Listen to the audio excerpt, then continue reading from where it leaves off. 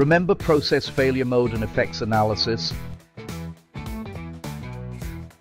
It is a structured method to anticipate where a process might fail. It assesses how severe the consequences could be and determines how to prevent it. It examines every element of the process people, tools, materials, equipment, and even environmental factors.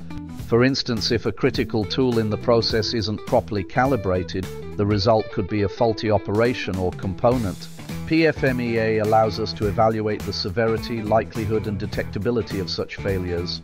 The resulting risk priority number RPN highlights which potential issues need immediate attention, such as implementing stricter calibration checks or process controls.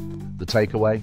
PFMEA converts what if scenarios into concrete action plans, helping prevent small errors from escalating into major problems. Hi, I'm Alpha from Sofema Aviation Services. Let's explore together sofemaonline.com.